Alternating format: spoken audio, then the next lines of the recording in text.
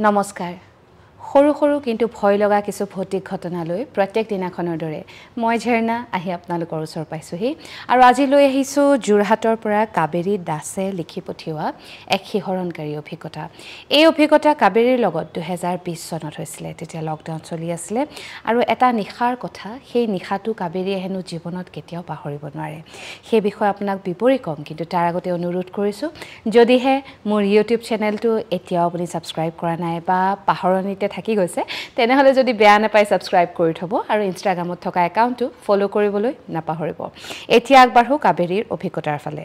সেয়া আছিলে দুহেজাৰ বিছ চনৰ কথা তেতিয়া চলি আছিলে লকডাউন কাবেৰীহঁতৰ ঘৰত সেইদিনাখন মোমায়েক মামীয়েক আহিছিলে। তেওঁলোক বৰ দূৰত নাথাকে প্ৰায় পাঁচ কিলোমিটাৰমান দূৰতেই থাকে। গতিকে সেইদিনাখন মামীয়েক আৰু মোমায়েক আহিছিলে তাতে থাকিম বুলি। কিন্তু ঘৰত কিবা এটা অসুবিধা হোৱাৰ কাৰণে ঘৰৰ পৰা ফোন আহিলে আৰু তেওঁলোক যাব লগা হ'ল। নিশা প্ৰায় এঘাৰ বাজি পঞ্চল্লিছ মিনিটমান হৈছে তেতিয়া মোমায়েকে ক'লে যে তেওঁ যাব লাগিব। পিছে কাবেৰীৰ মাকে তেওঁলোকক যাব দিব বিচৰা নাছিলে। সেয়েহে কাবেৰীক ক'লে তয়ো ওলা স্কুটিখন লৈ আমিও যাওঁগৈ লাগিলে আজি ৰাতি তাতেই থাকি দিম। সেই বুলি মোমায়েকে বাইক লৈ আহিছিলে মামীয়েকৰ লগত আৰু কাবেৰীয়েও নিজৰ স্কুটিখন ওলালে। বাৰিষাৰ দিন আছিলে আৰু অলপ কিনকিনীয়া বৰষুণ দি আছিলে। সেয়েহে মাকে ক'লে যে মই মোমায়েৰৰ লগতে উঠোঁ মামীয়েৰক তই তোৰ স্কুটিত উঠাই সেই বুলি দুয়োখন এখন বাইক এখন স্কুটি লৈ তেওঁলোক মোমায়েকৰ ঘৰলৈ ওলাল। কাবেৰীহঁতৰ মোমায়েকৰ ঘৰলৈ যাবলৈ দুটা ৰাস্তা।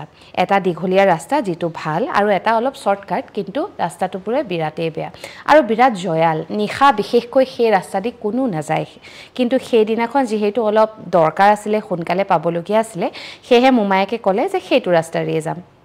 আৰু সকলোৱে বৰ এটা নাভাবিলেও আৰু লৰালৰিকৈ ওলালে। কিনকিনীয়া বৰষুণ দি আছিলে গতিকে চবেই লাহে লাহে বাইক চলাই গৈ আছে। আগে আগে কাবেৰীৰ মোমায়েক গৈ আছে পিছে পিছে কাবেৰী।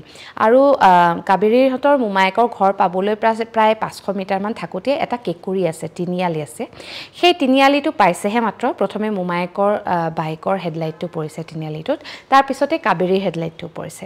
আৰু তেওঁলোকে লাইটৰ পোহৰত স্পষ্ট দেখিছে এগৰাকী বুঢ়ী মানুহ। পিন্ধনত এযোৰ বগা চাদৰ মেখেলা।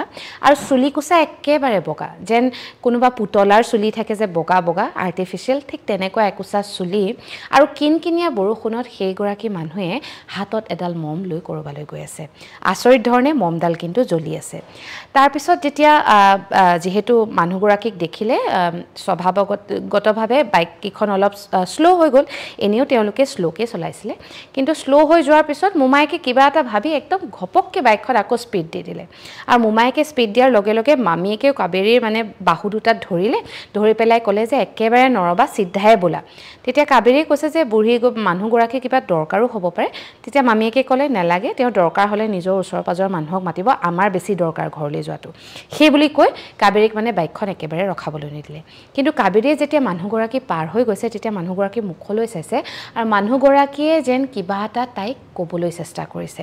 যেন কিবা এটা বিপদ বা কিবা এটা কথা ক'ব বিচাৰিছে। কিন্তু মানে তেওঁ কিবা এটা ক'বলৈ যেন মুখখন আগবঢ়াইছে।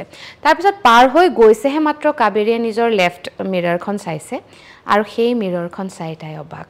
কাৰণ আইনাত তাই কাকো দেখা নাপালে। আৰু তাৰপিছত যেতিয়া কাবেৰী মোমায়েকহঁতৰ ঘৰ পালেগৈ তেতিয়া মোমায়েক মামীয়েককো এবাৰ আকৌ সুধিব বিচাৰিলে যে আচলতে এইটো কি আছিলে? কোন আছিলে সেই মানুহজনী আৰু মই ঘপককৈ পাৰ হৈ যোৱাৰ পিছতেই মানুহজনী কেনেদৰে অদৃশ্য হৈ গ'ল। তেতিয়া মোমায়েক মামীয়েকে কথাটো অলপ পাতলাই দিলে আৰু ক'লে যে কোনোবা হয় চাগে কিবা বিপদত ওলাই আহিছে ৰাতিখন। তাৰপিছত সেই নিশাটো পাৰ হ'ল। সেইদিনাখন কাবেৰী আৰু মাক তেওঁলোকৰ মোমায়েকৰ ঘৰতেই থাকিলে। পিছদিনা ৰাতিপুৱা ৰাতিপুৱাৰ জলপান খোৱাৰ পিছত ওচৰ চুবুৰীয়া মানুহক যেতিয়া দেখিছে কাবেৰীৰ আকৌ কোনোবা এজন লগৰ তাতে থাকে। মানে একেবাৰে ওচৰ ওচৰতে মোমায়েকহঁতৰ ঘৰৰ। তেওঁৰ লগত কথা পাতি নিশাৰ ঘটনাটোৰ কথা ক'লে। তেতিয়া সেই ল'ৰাজনে ক'লে যে সেই বুঢ়ী আইতাগৰাকীক কেৱল কাবেৰী আৰু কাবেৰীৰ পৰিয়ালেই নহয় বহুতে আগতে দেখিছে। আৰু যদি কোনোবাই সেই আইতাগৰাকীক দেখি বাইক স্কুটাৰ বা গাড়ী ৰখায় তেতিয়া তেওঁলোকৰ নিশ্চিত কিবা এটা অঘটন ঘটে। গতিকে সেই নিশাটো আচলতে কাবেৰীহঁতৰ কপাল ভাল আছিল আৰু মোমায়েকে হয়তো ঘপককৈ কথাটো মনত পৰিলে কাৰণেই স্পীডত গুচি গ'ল সেয়েহে তেওঁলোক এটা নিশ্চিত বিপদৰ পৰা বাচিলে।